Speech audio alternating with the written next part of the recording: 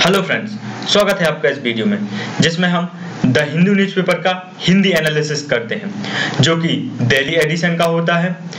आज है 23 सितंबर 2018 तो चलिए देखते हैं आज के एडिटोरियल की करंट अफेयर्स। आज का डिस्कशन स्टार्ट करने से पहले हम देखते हैं कुछ मोटिवेशनल लाइनें, जो कि हैं जीवन हमें हमेशा दूसरा मौका ज़रूर देता है, जिसे कल कहते हैं। जी हाँ दोस्तों, हमें ज़िंदगी में किसी ना किसी काम को करने के लिए दूसरा मौका ज़रूर मिलता है। लेकिन ज़रूरत क्या होती है उस मौके को पहचानने की, उसे जानने की कि दरअसल में ज़िंदगी ने हमें जो मौका दिया है, वह यही है क्या? और आप इस बात को दूसरी तरीके से ना लें कि ज़िंदगी हमें दूसरा मौका देगी, ये एग्ज़ाम पास नहीं हुआ है या एग्ज़ाम में मार्क्स नहीं आए तो अगली बार आ जाएँगे। तो ऐसा मत सोचें। गलतियों से सीखें और और जो भी चांस मिल रहा है, उसको आखिरी चांस मानकर हमें आगे बढ़ना है। और ज़िंदगी जैसे कि हमें दूसरा चांस देती है तो इसको एक तरीके से बैकअप में लेके चलना चाहिए, ताकि आप पहले ही अटेम्प्ट को अच्छे तरीके से दें। और इस तरीके से सोच लेंगे तो आपको घबराने की ज़रूरत नहीं होगी कि दूसरा मौका मिलेगा ही मिलेगा आपको। तो इस तरह से पॉजिटिव सोच लेके आपको आगे बढ़ना है। इसी के साथ चलते हैं हमारी पहली न्यूज़ की तरफ़, क्योंकि आज संडे है तो आज हमारे यहाँ साइंस एंड टेक वाला पोर्शन आता है। इसलिए आज का डिस्कशन थोड़ा छोटा होता है और न्यूज़ साइंस और टेक्नोलॉजी से संबंधित होती हैं। तो पहली हमारी जो न्यूज़ है, वह है अंतर्राष्ट्रीय न्यूज़ यहाँ पर ईरान की सिटी अहबाज में सैटरडे को क्या हुआ है? एक आतंकवादी हमला हुआ है। यहाँ पर क्या हो रहा था कि यहाँ पर मिलिट्री परेड चल रही थी।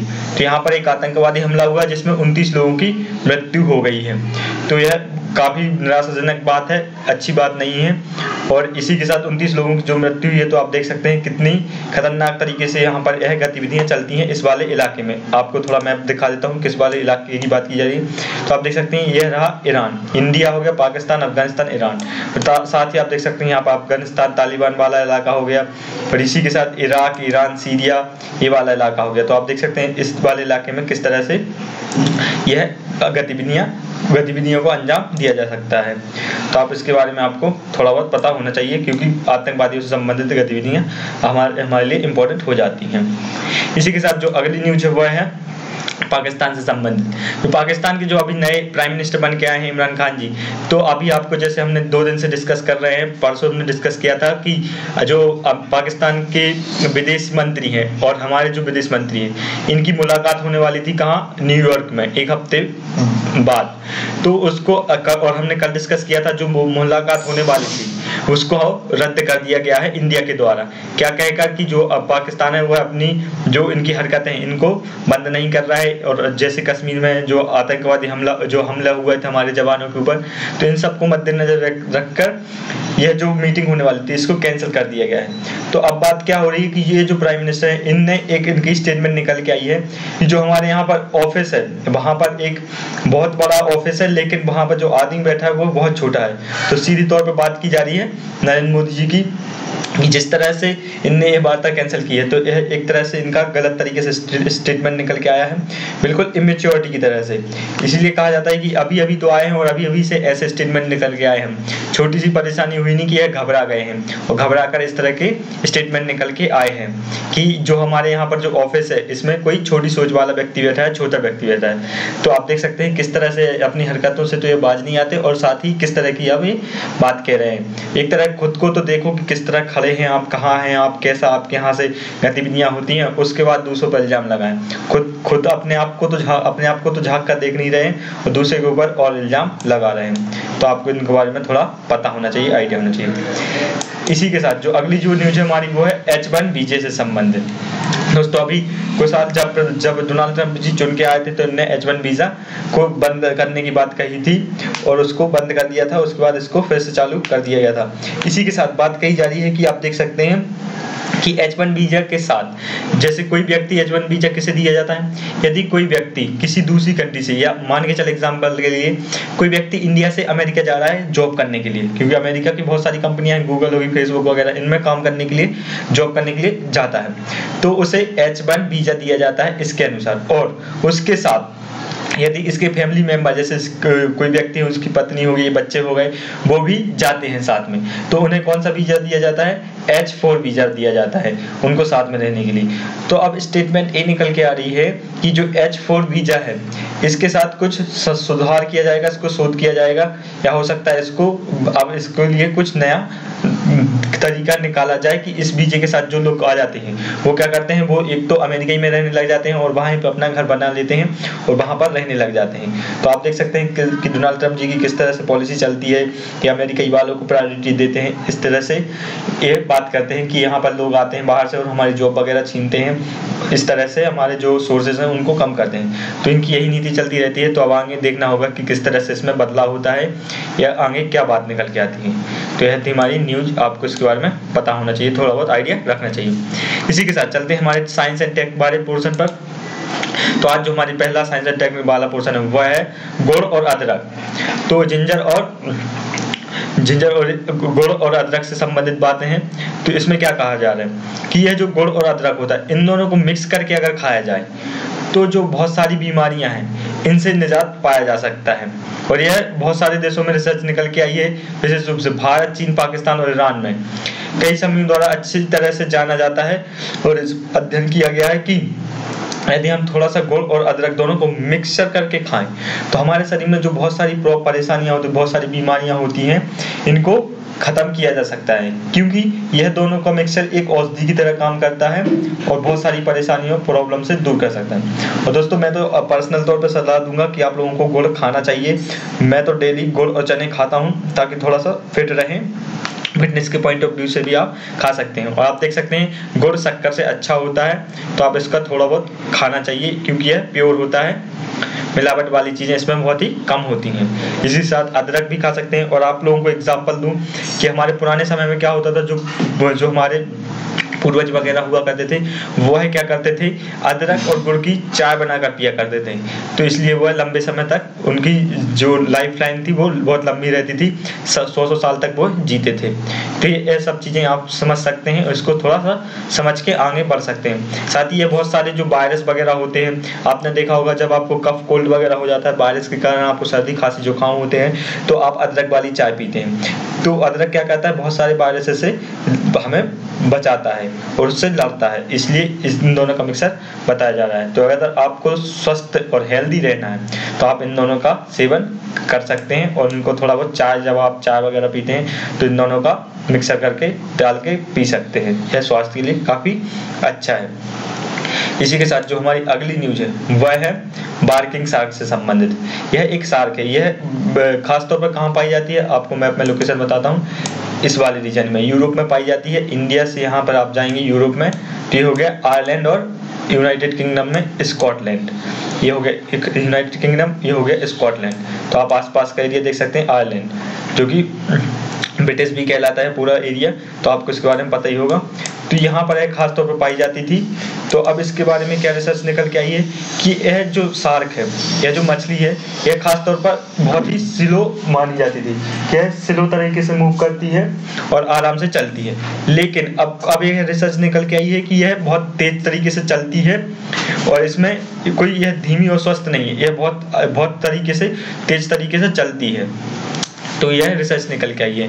तो इसके बारे में आप थोड़ा बहुत आइडिया होना चाहिए और इसका नाम भी आप देख सकते हैं वार्किंग सार्क तो याद होना चाहिए थोड़ा बहुत सिंपल क्योंकि न्यूज़ में आती हैं तो क्वेश्चन बन जाते हैं। इसी के साथ जो अगली न्यूज़ है वह है टीबी से संबंधित। तो इसमें क्या अब क्या बात निकल के आई है? हमने अभी बहुत सारे टीवी से ऊपर ट्यूबरक्लोसिस से ऊपर बहुत सारे आर्टिकल डिस्कस किए हैं तो अब क्या बात निकल के आई है कि आपने देखा होगा लगभग 40 प्रतिशत जो भारत में भारत के लोग हैं इन्हें क्या हो जाता है सा, सा, खांसी सर्दी जुकाम हो जाता है मानसून चेंज होता रहता है इसकी वजह से। तो क्या कहते हैं तो, तो अगर इनको दो चार दिन के लिए खांसी हो जाती है तो लोग क्या गलत फहमी पाल लेते हैं? इन्हें टीबी हो गया है। तो इस तरह की गलत फहमी में ये जीते हैं और इन्हें लगभग इससे बहुत सारा नुकसान होता है। इसी तरह से बात की जाए दस मिलियन लोग दो हज़ार सत्रह में टीबी रोग से विकसित पाए गए। लगभग विश्व में एक दशमलव सात अरब लोग, यानी कि तेईस प्रतिशत विश्व स्वास्थ्य संगठन की ग्लोबल हेल्थ रिपोर्ट के अनुसार। 2018 के अनुसार दुनिया की आबादी का अनुमान लगाया गया है कि गुप्त रूप से संक्रमण हो सकते हैं आने वाले समय में। इसी के साथ आप देख सकते हैं कि एक किस तरह से गलत फहमी पाल कर, एक अवधारणा मानकर लोग चलते हैं। हमारे यहाँ ज़्यादातर तौर पे कि इन्हें खांसी हो गई तो मान के चला कि दो चार दिन खांसी चल रही है तो सोच लेते हैं कि टीबी हो गई। और एक बार आप जो सोच लेते हैं तो लगभग वह बात घर मन हमारे मन में घर कर जाती है और हम वैसा ही महसूस करने लगते हैं और हमें वह बीमारी हो ना हो, लेकिन हम उस बीमारी, वह हमें बीमारी एक तरीके से हो ही जाती है। तो यह हमारी सोच पर डिपेंड करता है। और 2025 तक हमने इसको बीमारी को खत्म करने का हमारी इंडिया गवर्नमेंट ने बेड़ा उठाया है कि हम 2025 तक इस बीमारी को खत्म कर देंगे।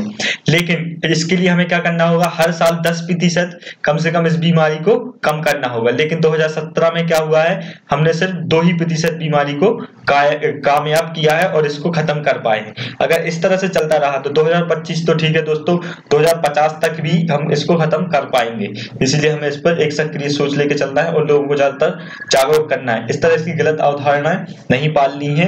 इनसे लोगों का बहुत ज़्यादा नुकसान है और इस तरह से गलत अवधारणा पाल के लोगों का ही नुकसान है। इसलिए लोगों को जागरूक रहना होगा और आप लोगों को एक दूसरे को बातें बतानी होंगी और जागरूक रहना पड़ेगा।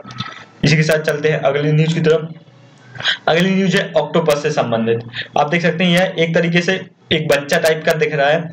तो यह बात कही जा रही है कि जो ऑक्टोपस है, इसका जो 500 मिलियन वर्षों पहले, यह जो था, इसका संबंध इंसान है जो। मानव है, इनसे बताया जा रहा है कि 500 मिलियन पहले इनका संबंध मानव से था। आप देख सकते हैं कि मानव पहले बंदर था और उसके बाद जो जो मंकी है, उससे इंसान बना। इसी तरीके से कहा जा रहा है कि इसके साथ भी संबंधित है। हो सकता है। तो अब आगे देख सकते हैं, अब आगे कोई भी रिसर्च निकल के आएगी तो पता चलेगा कि इससे हमारा क्या संबंध था और इसके साथ हमारे कैसे रिलेशनशिप रहे होंगे। इसी के साथ चलते हैं अगली न्यूज़ की तरफ़, जो कि हमारी।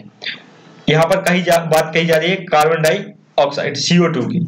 आप देख सकते हैं जिस तरह से हम कोल या कोयला वगैरह जलाते हैं तो जिससे उससे क्या होता है कि कार्बन डाइऑक्साइड गैस निकलती है और फिर वो गैस क्या करती है जो हमारे यहाँ पर टेम्परेचर है वातावरण है उसको गर्म करती है और बहुत सारी बीमारियाँ उससे फिर निकल के आती हैं बहुत सारी प्रॉब्लम होती हैं। तो अब बात कही जा रही है यहाँ पर Massachusetts Institute of Technology M है जो इसने बताया है कि इससे हम एक बैटरी बनाएँगे जो कि कार्बन उत्सर्जन पर कटौती करेगी। एक तो यह जो कार्बन डाइऑक्साइड है, इसको खत्म करेगी और इससे फिर हम एनर्जी बनाएँगे, जिससे कि हम लाइट वगैरह का उपयोग कर सकेंगे और इसको अच्छे तरीके से इसका उपयोग कर सकेंगे। और एक हमने आर्टिकल और भी पढ़ा था कि किस तरह से हमने एक कार्बन डाइऑक्साइड का उपयोग अब एनर्जी वगैरह में किया जाएगा। तो वहीं से एक रिसर्च और निकल के आई है। कि अब जो यह है यह जो कार्बन डाइऑक्साइड है, इसका किस तरह से उपयोग किया जाएगा? एक तो इसका उपयोग होगा, इससे लाइट वगैरह बनेगी, और साथ ही उसका क्या होगा कि जो यह, जो हमारे वातावरण पर प्रभाव डालती है, इसको भी हम कम कर सकेंगे, और हमारा जो वातावरण है, इसको हम नियंत्रण में ला पाएँगे। तो काफ़ी अच्छी बात है। देखते हैं अब इसको किस तरह से आगे इसका यूटिलाइज किया जाता है। इसी के साथ चलते हैं अगली न्यूज़ की तरफ़। अगली जो न्यूज़ है, वह है हमारी अनुवांशिक यानी कि आप देख सकते हैं यहाँ पर जो एक, जो अनुवांशिकता क्या होती है? जेनेटिक चीज़ होती है, जो कि माता पिता से अपने बच्चों में चीज़ें पाई जाती हैं। लेकिन क्या होता है कि कभी कभी बच्चों के हाथ पैर छोटे हो जाते हैं, नाक कान छोटे हो जाते हैं, बाल वगैरह झड़ने लग जाते हैं तो इस तरह से कुछ प्रॉब्लम निकल के आती है बॉडी में। तो आप देख सकते हैं, इसके लिए क्या बात कही जा रही है? यह जो एक चीज़ है तो इस तरह की जो बीमारियाँ होती हैं, जो बेकार होते हैं, उसको किस तरह की बीमारी का नाम दिया गया है?